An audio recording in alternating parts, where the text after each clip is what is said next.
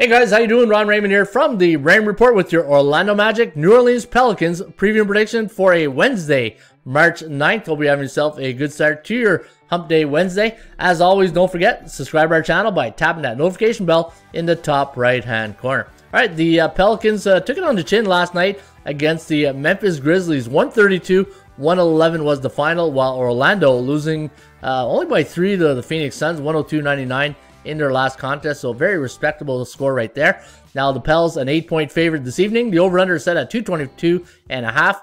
ATS forecast computer pick gonna lean with the uh, New Orleans Pelicans here 119 to 111 the over under at 231.04 so it does like it to fly over the total looking at the uh, Magic last 10 game well there's no magic there 3 and 7 straight up 5 and 5 to the point spread 4 and 6 to the under while the Pelicans five and five straight up ATS and against the um, look at that look at the over under five and five. So five five all the way around the board right there for the Pelicans. So there are even Steven right there. Good old Seinfeld episode. And looking at the line minus eight and I had plus 1.6 so you can see they're overvalued here tonight. 86.6 percent chance of winning compared to 19.1 on the uh, percentage play for the Magic. And for the Kogo chance of this one going over the total is at 60 percent the uh, Magic coming in on a two-game slide. Same thing for the Pelicans.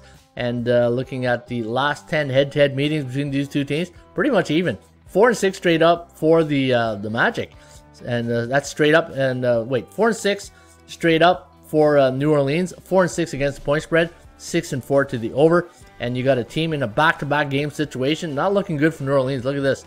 Anytime you got an NBA team that's playing a back-to-back game and they're six and a half to nine point home favorite, 12 and 7 straight up, which is good, but 7 and 12 against the number. And when New Orleans at home coming off a loss, 10 and 11 against the point spread. So be very careful betting tonight's game between the Magic and the Pels. Good luck.